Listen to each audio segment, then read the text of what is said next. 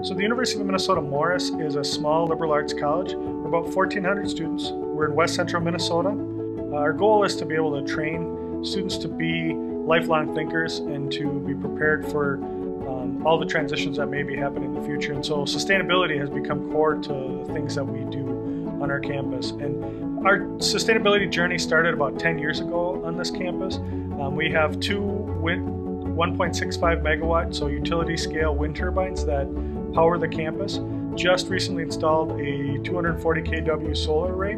The other piece that we have is we have a biomass gasification plant that we started. And so over the past 10 years, um, all of that work culminated this year in the fact that we were able to achieve carbon neutrality on the electricity side of our equation. But we said we really need to figure out where we go on the thermal side. And we really needed an expert to come in and say, these are the things that you should look at, and these are some things that you need to be aware of.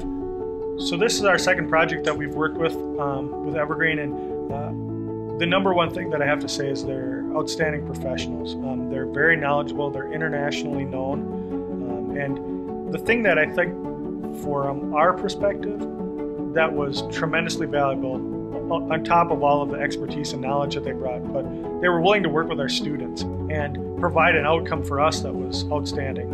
The roadmap to carbon neutrality uh, helped us accelerate our efforts with thinking about where we need to go. And so we have, since the work started, we've been able to take that and start to work a plan forward to be able to try to help us improve that the plant so that we can demonstrate to, to communities what can be done to achieve climate goals that will help the entire planet.